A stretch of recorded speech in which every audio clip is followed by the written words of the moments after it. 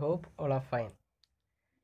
So we have we are in a chapter which speaks about the gentleman of Rio en Medio, and we are very much aware that it speaks of it speaks of Don Anselmo, a very old man, and we found that he owned a property which was sold, which was uh, bought by uh, uh, some American people, and we found that everything was fine, and the pe- uh, the the children of the locality they came and played in the property of the of the Americans. Now it belongs to the Americans, right? So what happened? They made a complaint telling uh, that okay, Don and Anselmo should come and tell these people that he no longer owns this property, but it is owned by these Americans. But what happens to everyone's surprise? Don Anselmo says, okay, uh, when I signed the agreement, I sold you all the uh, oh, I sold you my property, but not the trees which are there in the in my property. So we have reached that that stage when the when Don Anselmo says, okay, I have I sold you the property, but not the trees in the property. So we shall see what happens next. Why did Don Anselmo say that he did not sell the property? He sold so means to say he not the property he did not sell the trees he sold only his property not the trees in in the property so we shall see why he says that this was bad don anselmo. I pleaded. When one signs a deed and sells a real property one sells also and grows on the land. And those trees every one of them are on the land and inside the boundaries of what you sold. So those people could not take it what don anselmo said okay he sold the property but not the trees which are there in the property. This is very unjust isn't it? So the lawyer says okay this was very bad. He was telling don anselmo okay this is very bad and he pleaded with him okay? And he said okay normally normally what happens is okay when when one signs a deed to sell when one signs an agreement saying that okay guys i'm selling my property.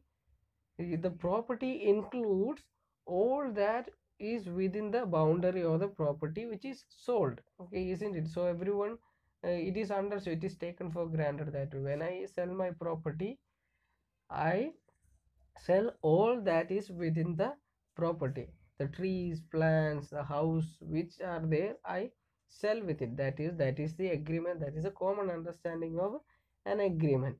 And this lawyer tells don anselmo about that.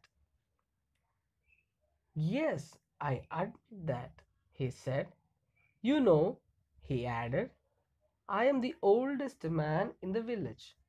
Almost everyone there is my relative, and all the children of Rio en Medio are my sobrinos and nietos, my descendants.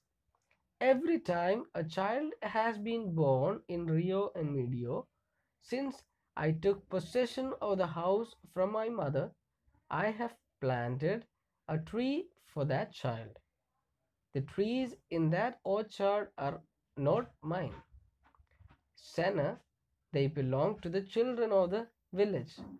Every person in Rio en Medio, born since the railroad came to Santa Fe, owns a tree in that orchard. I did not sell the trees because I could not. They are not mine. Okay, so before we uh, go into the explanation of this passage, we found out two new words, isn't it? The words in the sense they are not English words. Okay, you have found one word called sobrino and nietos. Okay, we shall see that it is a it's a Spanish word. Okay, so we shall see what it is. So a Spanish for nieces and nephews. Okay, see here. It's a nieces and nieces and nephews okay so uh, nieces and nephews means what for example uh, your uh, your uncle maybe your your father's brother or mother's brother has a son. That is your cousin. Okay. And when your cousin has a son or a daughter if your cousin has a son they uh, that son is known as a nephew. Okay. Your cousin's son is a nephew for you.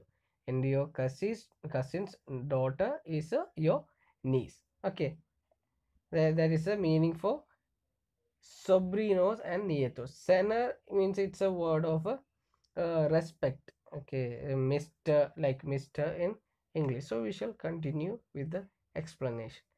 Okay what does don anselmo say? Okay when don anselmo heard about uh, what the lawyer said he said yes i admit that. But he- what did he say? He said okay i am the i am the oldest man in the village and everyone in the village are my is my uh, relative in one way or the other. And they are all my descendants. Descendants means uh, those those uh, uh, his uh, his means to say his relatives or those came after him. Okay those who followed his path. Or those are known as a, a collective word as a descendants. Okay. And he says okay whenever a child has been born in rio en medio since he took possession of the land from his mother what he did whenever a child was born he planted a tree for the child. Okay so what did he do? Whenever a child has been born he used to plant a tree for that child who is born. And he says okay because of that i don't own the trees because they are not mine. I have planted it for them so it is theirs. So they are not mine. And he says okay he says the when uh, in rio en medio since the railroad came to santa fe all those people who have born after the rail rail came in santa fe they all own a tree. So you can count the number of trees which are there in the in the property of don anselmo which he sold to the americans. So why did he say he did not uh, he did not sold, sell the tree? Because those trees are not his. Okay he sold his property. He sold he said okay i have i have sold my property not the trees which are in it. Because when if i need to sell my property i can sell my property because it is mine. But if the trees which are in the property which do not belong to me means how will i be able to uh, sell it? That's what don anselmo says. So he says okay i sold you my property and the trees i have planted for them and it is theirs. For each child has been born i used i have planted a tree and it is theirs it is not mine. So i cannot sell something which i do not have or which do not belong to me. So he is very right in saying that isn't it? So you can sell something which you own. If you do not own any particular thing you will not be able to sell. That's what don anselmo tells the tells the lawyer. Then there was nothing we could do legally we owned the trees but the old man had been so generous refusing what amounted for a amounted to a fortune for him it took most of the following winter to buy the trees individually from the descendants of Don Anselmo in the valley of Rio en Medio. So what happened?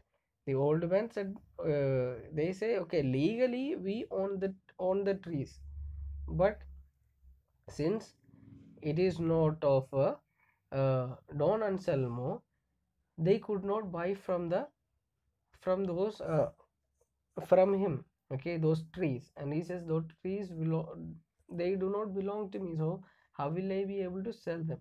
So what did these people these americans do? Okay uh, legally they owned the uh, owned the trees but what happened? The old man was very generous because the place was more isn't it?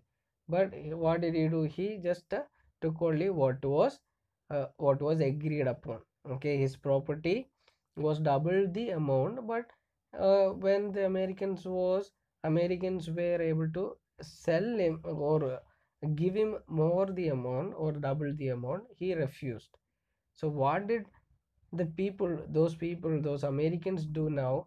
They had to buy these trees from all the individual persons.